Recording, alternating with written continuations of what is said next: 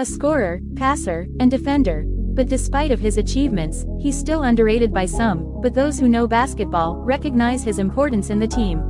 Panoorin ang aking full video, and paki-subscribe na din po.